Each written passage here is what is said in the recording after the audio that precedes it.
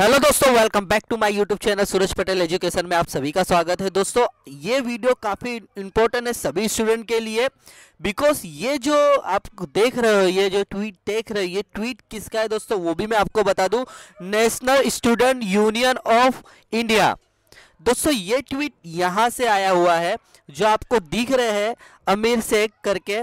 दोस्तों, इन्होंने ट्वीट किया, और ट्वीट का क्या है टाइटल भी आप देख लीजिए।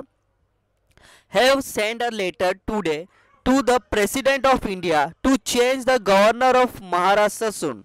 और उनका हैशटैग्स भी क्या है गो बैक कोसारी दोस्तों, कहने का मतलब इस जो हेडलाइन में लिखा हुआ है कि जो हमारे गवर्नर है, जो आपने थंबनेल भी देख लिया, कि जो गवर्नर ऑफ़ महाराष्ट्र है, उसे चेंज कीजिए और ये लेटर दिया हुआ है प्रेसिडेंट ऑफ़ इंडिया को।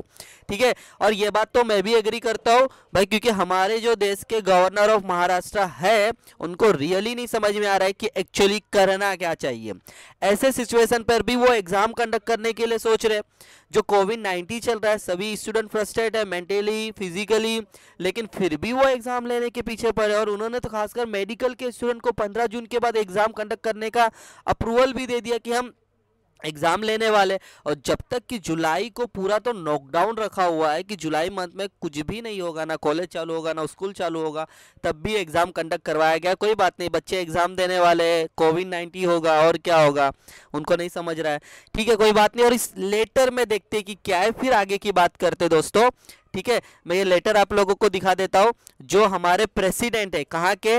National student union of India के जो प्रेसिडेंट है, जिन्होंने ये लेटर लिखा हुआ है, अमीर शेख करके, ठीक है? तो उन्होंने इसमें जो सब्जेक्ट लिखा हुआ है, दोस्तों, उन्होंने सब्जेक्ट में यही लिखा है कि जो गवर्नर ऑफ़ महाराष्ट्र है, उन्हें हटाइए। ठीक है? और दोस्तों, ये पूरे ये पूरे जो समरी है, इसमें मैं पूरा समरी बता देता हूँ। क्या और फिर देन मैं अपने भी ओपिनियन इसमें ऐड करूँगा।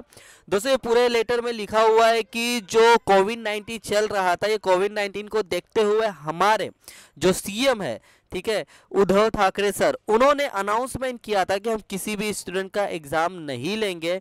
सभी स्टूडेंट को हम फाइनल ईयर के स्टूडेंट को प्रमोट करेंगे। एज पर एवरेज बेस पे।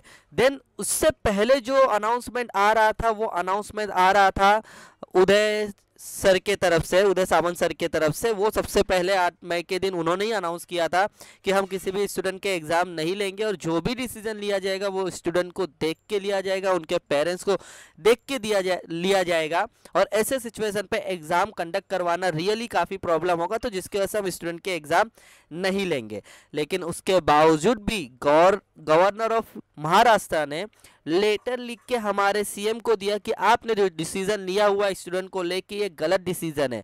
आपने काफ़ी रूल्स एंड रेगुलेशन को क्रैक किया हुआ है। काफ़ी एक्ट को नुकसान पहुँचाया हुआ है। आपको एग्ज़ाम लेना ही चाहिए, ऐसा हमारा ओपिनियन है। लेकिन हमारे सीएम भी ने भी आप रिप्लाई में यही कहा है कि हमारे जो निर्णय है, वो चेंज नहीं होंगे। और उदय सावंत सर ने भी लाइव आके फेसबुक पे अपने ट्विटर अकाउंट पे उन्होंने एक वीडियो पोस्ट किया था कि जो हमने एक बार हमारे सीएम ने बात की हुई है तो जो भी डिसीज़न लिया जाएगा, वो स्टूडेंट के हित में लिया जाएगा, गलत नहीं लिया जाएगा।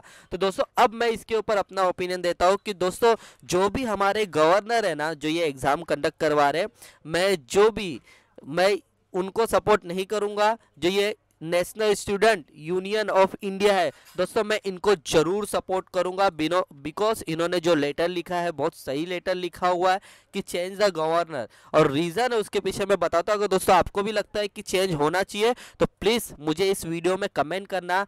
Change governor of Maharashtra. दोस्तों रीजन है, गवर्नर ऑफ़ महाराष्ट्र तो देखो, अपने घर में बैठे रहेंगे, अपने ऑफ़िस में बैठे रहेंगे, उनको कोविड नाइन्टीन हो या ना हो, कोई फ़र्क नहीं पड़ता। लेकिन जितने स्टूडेंट बाहर निकलेंगे, अपने फैमिली को छोड़ के, अपने घर बार को छोड़ के, लेकिन वो जब बाहर आएँगे और सभी से एक दूसरे से मिलेंगे तो डेफिनेटली उनको कोविड नाइन्टीन हो सकता है। और मेरा तो ऐसे ही है कि कोई क्यों घर से बाहर निकल रहा है? सब घर के अंदर रहे। एग्ज़ाम लेना था, जब इनको इतना था तो ओपन बुक सिस्टम इन्होंने बोला हुआ था, जो मेडिकल स्टूडेंट के लिए था, वो अप्लाई करते थे। पहली बात तो ये सिचुएशन पे एग्ज़ाम ही नहीं लेना चाहिए। तो ये एग्ज़ाम का जो ये प्रॉब्लम चल रहा है तो गवर्नर ऑफ़ महाराष्ट्र को तो रिक्वेस्ट है कि वो ना ले तो बेस्ट है। और अगर उनको समझ में नहीं आता कोई चीज़ तो कोई बात नहीं है। इन्होंने जो लेटर लिखा है, उनको पूरा सपोर्ट कीजिए कि गवर्नर ऑफ़ महाराष्ट्र को हटाया जाए, उन्हें निकाला जाए। बिकॉज़ उनको देश की नहीं पड़ी है, उनको अपने देश के स्टूडेंट की नहीं पड़ी है, उनको सिर्फ़ पड़ी है एग्ज़ाम लेने की। तो भाई मैं तो नहीं चाहता कि एग्ज़ाम हो। आप क्या चाहते हो, मुझे ज़रूर वीडियो में कमेंट करके बोलिए। और वीडियो अच्छा लगे तो प्लीज़ लाइक से सब्सक्राइब करना ना भूलिए। और अपने दोस्तों को तो ज़रूर शेयर कीजिए, क्योंकि ज़्यादा से ज़्यादा लोगों में ये वीडियो जाए और ज़्यादा से ज़्यादा लोग अवेयर हो। और हो सके तो जो हमारे अमीर शेख है, इनके भी ट्विटर अकाउंट पर जाके आप ज़रूर कमेंट करिए कि हम आपको सपोर्ट कर रहे हो सभी स्टूडेंट ऐसा करें तो आई होप कि इन्हें भी काफ़ी मोटिवेशन मिलेगा और ये सभी स्टूडेंट को डेफिनेटली सपोर्ट करेंगे। थैंक यू सो मच दोस्तों, फिर से मिलूँगा नेक्स्ट वीडियो में। जब तक के लिए बाय बाय